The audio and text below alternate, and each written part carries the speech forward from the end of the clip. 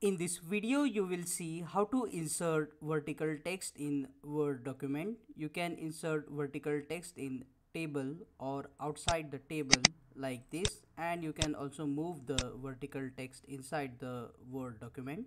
Let's get started. To insert vertical text in table, first select the text. Now under the layout here, you will see the option text direction if you click on this button you will see that the direction of the text will now change.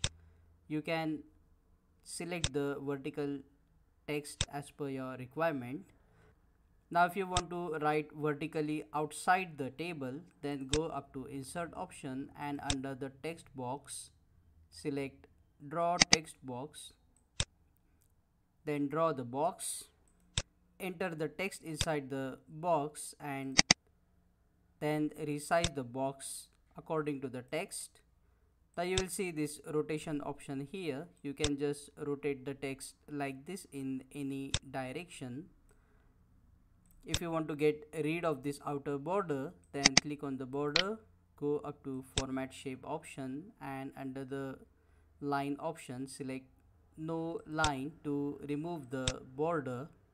Now to write vertically word by word just increase the size of the text box and then enter after every single letter and resize the box accordingly.